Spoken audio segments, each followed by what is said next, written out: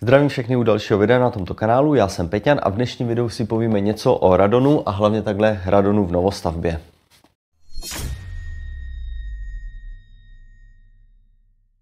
Před nějakou dobou jsem nahrál na YouTube video, kde jsem měl půjčenou radonovou sondu a měřil jsem radon jednak v bytě a jednak ještě tehdy tady na stavbě. E, teď už je to dokončený barák, ale tehdy to ještě byla vyloženě stavba, byly dokončeny proti, e, vlastně ty izolace, jednak proti radonový, jednak proti vodě. A, ale nebyly hotové ještě omítky, nebyla vnější fasáda, to znamená přes ty cihly to nějakým stylem vždycky provětrává, e, nebyly ještě dodělaný garážový vrata, takže ten barák nebyl úplně uzavřený v tom, jakoby v tom reálném provozu. A tehdy jsem ty e, koncentrace radonu měl naměřený nějakých kolem 20-30, maximálně 50 bekerelů na metr krychlovej, což hodnoty nejsou nějaký vyloženě špatný, ale taky ne vyloženě dobrý. Eh, je to dáno tím, že vlastně v, to, v tom místě, v kterém žiju, ty koncentrace toho radonu jsou poměrně vysoký. Pod náma je nějaká opuková skála, z které vlastně ten radon se jakoby uvolňuje do toho ovzduší a tím pádem potom i do toho baráku. Samozřejmě se dělají potom nějaký protiradonové izolace eh, při té stavbě, ale takové ty hodnoty byly. Po nějaké době, vlastně teď, když už je barák hotový, se mi naskytla zase možnost půjčit si zase další měření radonu. Tentokrát se jedná o radonovou sondu Radon Eye, vypadá to takhle. Mám to půjčený z webu eh, radononline.eu, kde je možný si tuhle tu sondu zapůjčit na týden, na měsíc, na nějaký prostě časový období a měřit ten radon uvnitř baráku. E, ta sonda vypadá takhle, je tam přivedený napájecí napětí nějaký, e, jsou tady mřížky, kudy vlastně ten radon se nasává a výhoda je, že tahle ta sonda má přímo displej. Krom toho displeje, teď je čerstvě zaplá, takže tam ještě není žádná hodnota, ale krom toho, že vlastně je možný měřit tu hodnotu přímo tady na tom displeji nebo zobrazovat tu hodnotu přímo na tom displeji, tak se to dá spárovat s telefonem a můžete vidět přímo online vlastně tu hodnotu, anebo vám to ukazuje nějaký graf za poslední den, týden, měsíc a tak dále, takže můžete vidět, kolik vlastně eh, toho radonu máte v domě. Výhoda je tohohle z toho měření, že ta sonda měří rychle v podstatě online. Eh, jeden ten náměr trvá zhruba nějakých 10 minut, takže vy každých 10 minut víte přesně tu hodnotu toho radonu, která tam je změřená. Eh, ideálně je samozřejmě měřit nějakou dlouhodobě, protože ty hodnoty toho radonu se můžou pohybovat eh, samozřejmě díky nějakému větrání, ale i ráno, v noci, přes den prostě záleží to i na počasí, na nějakým tlaku, kdy vlastně může ten, to počasí, jako by ten radon víc vytahávat z toho podloží a víc vám to luftuje takhle do baráku nebo i do toho okolí, takže záleží, záleží jednak na tom vnitřním prostředí, jestli víc větráte nebo ne, ale i na tom venkovním prostředí, takže je dobrý dělat ty náměry nějakou aspoň týden dlouhý, aby se dalo v tom nějak zorientovat. Ale eh, když pak hledáte nějakou poruchu v té stavbě, tak je výhoda, že vlastně ty náměry jsou takhle rychlí. Eh, já jsem si tuhle tu sondu půjčil, a zhruba jsem si pamatoval, že ty hodnoty, které já jsem tehdy naměřil, tak byly nějakých těch 10, 20, 50, stovku maximálně. A samozřejmě čekal jsem, že tyhle ty hodnoty budu mít, maximálně tyhle ty hodnoty budu mít i v tom dokončeném baráku. E, zapnul jsem to, nechal jsem to v kuchyni zaplý na chviličku. E, potom, co tam naskočily hodnoty, tak najednou šok. Hodnoty, které jsem měl tady v tomto baráku, byly kolem 600 bekerelů na metr krychlových. Eh, postupně ty hodnoty stoupaly, kolísaly, klesaly.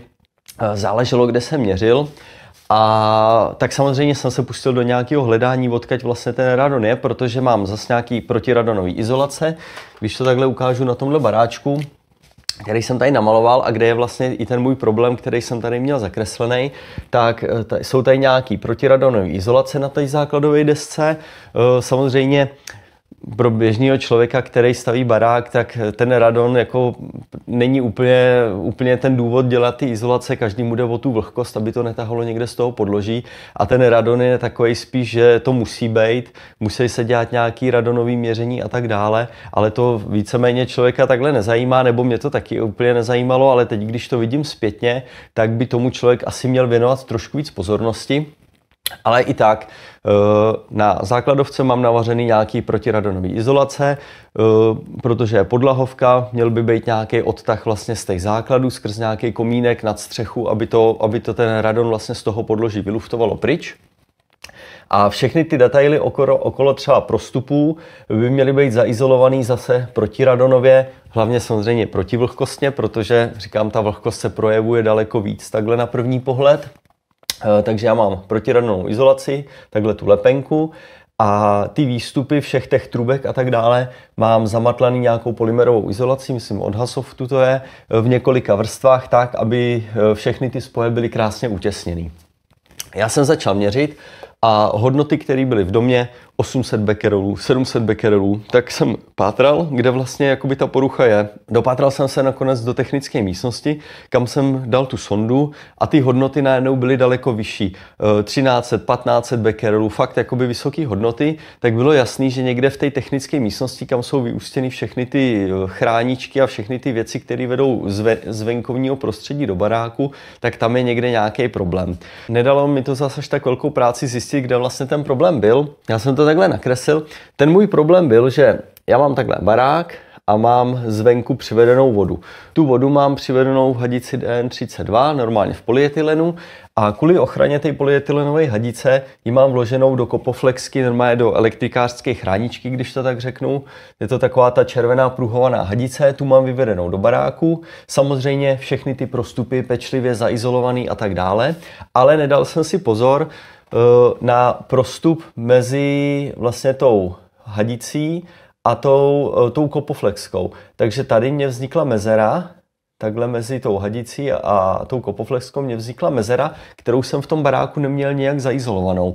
Mě takhle vede ven ta, ta hadice, ta kopoflexka, uvnitř je vložená ta hadice, tady je jenom spojka na obecní vodovod a nikde to tady není moc zakončený. E, samozřejmě celý to je zakopaný v nějakým štěrku, když se dělají ty zásypy, dává se to do nějakého písku nebo jemně mletýho nějakého kameniva což vlastně v tomhle případě působí jako nějaký sběrač toho radonu. E, pod tím je takhle skála, která samozřejmě přes nějaký ty praskliny ten radon vybírá, usazuje se nejspíš tady takhle v tom písku a skrz tu hadici proniká takhle hadicí dovnitř a kolem té hadice mi tady vlastně ten radon takhle proudí venek.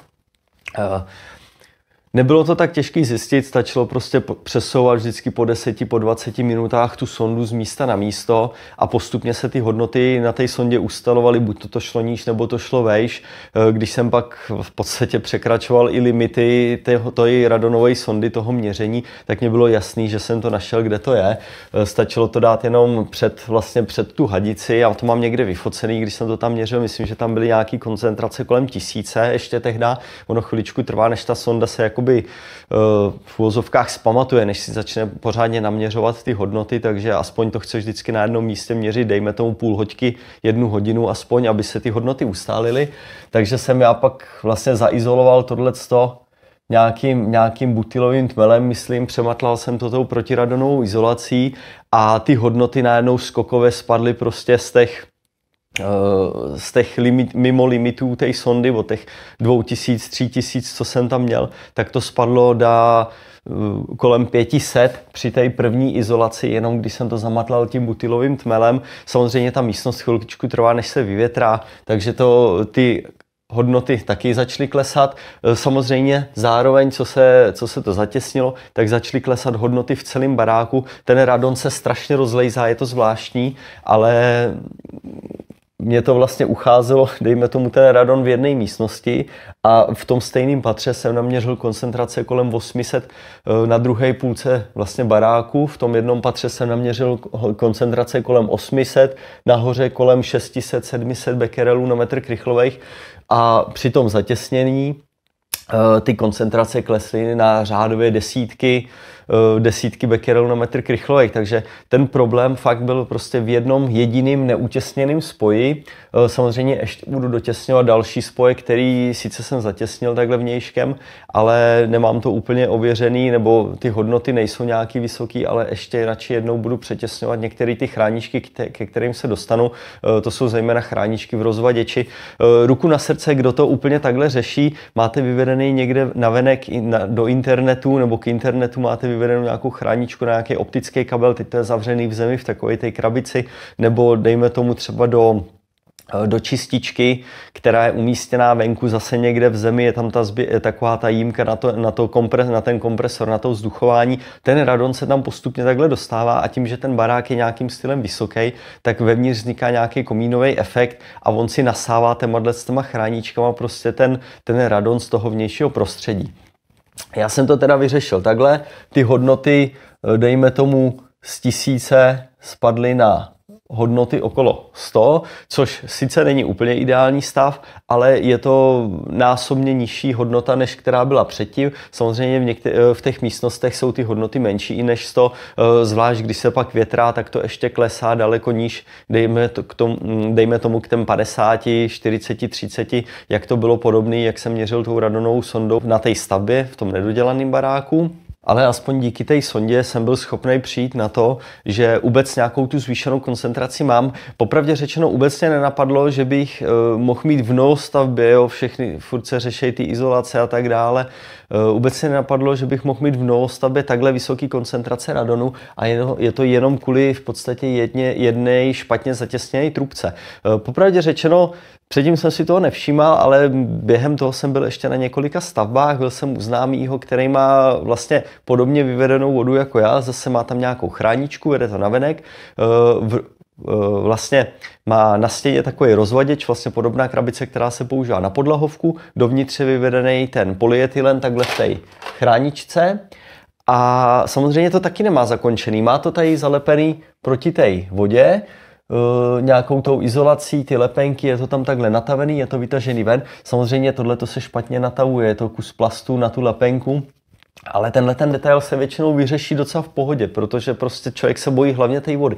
Ale když to vyvede tu chráničku někde do nějaké vejšky, ať se jedná o elektriku, ať se jedná o internet, nebo ať se jedná o nějaký venkovní osvětlení nějakých, uh, nějakého parkoviště před barákem, nebo nějaké zahrady, pergoly a tak dále, kde ta chránička je třeba zakončená jenom za tím zatím třeba jenom někde v zemi nebo v nějaké krabici, která je vlastně taky umístěná v zemi, tak tou chráničkou může proudit dovnitř do baráku právě ten radon a je to taková, taková blbost, ale vidíte, že ty, ty hodnoty, že se dokážou obrovským, obrovskou měrou jakoby zvýšit a hodnoty, které jsou kolem tisíce, tak už jsou strašně vysoký.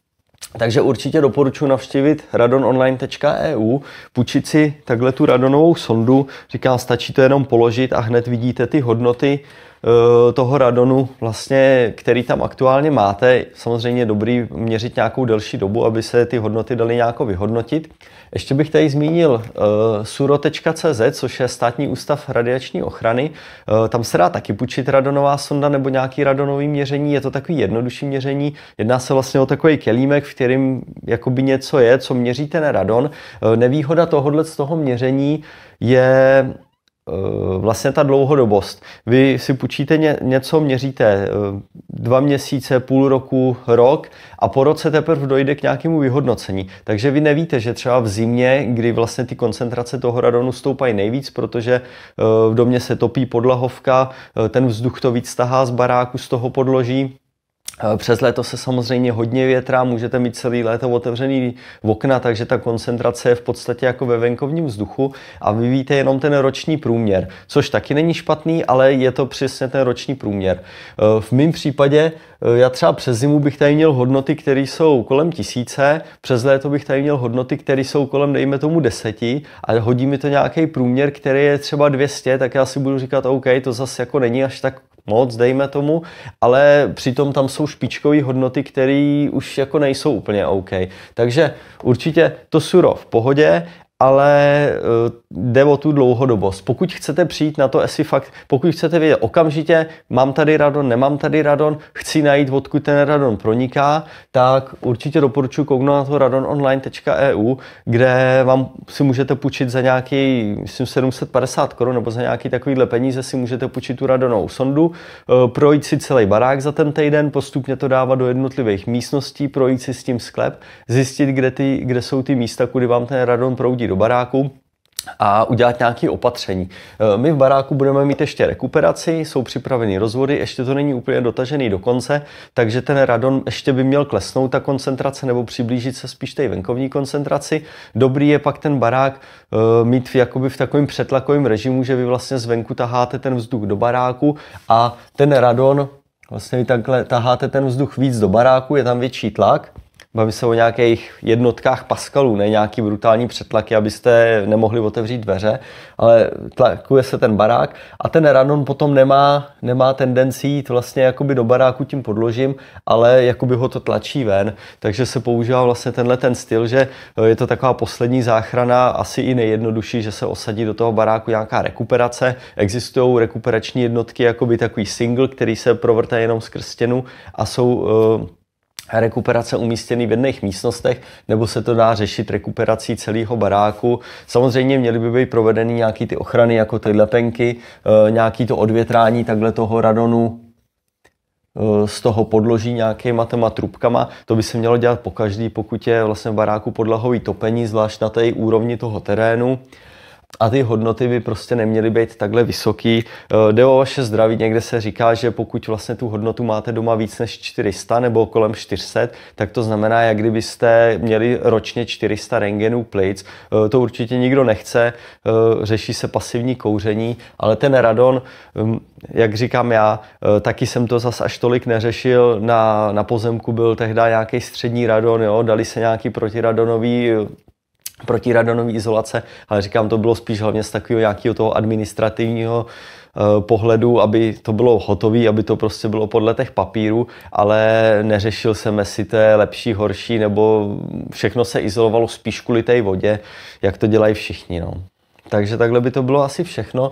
Jak říkám, takovýhle detail vám může zkazit ten radon v celém baráku. Doporučuji půjčit si tu sondu, pokud vás tato problematika zajímá. Není nic jednoduššího, než tam napsat, objednat si tu sondu, třeba půjčit na týden za pár káblí, eh, změřit si tu hodnotu toho baráku a můžete klidně jít spát, nebo taky můžete zjistit, že to je špatný a můžete teprve potom řešit, eh, čím, čím se to dá opravit. Existují na to i nějaký dotace, myslím, že, takže pokud ty hodnoty máte opravdu velký, dá se půjčit nějaká dotace, nebo existují nějaké dotace, které eh, můžete pobrat pobrat na to, abyste si třeba v tom baráku udělali rekuperaci, která má i jinou přidanou hodnotu. Tohle je asi tak všechno. Mějte se a čau.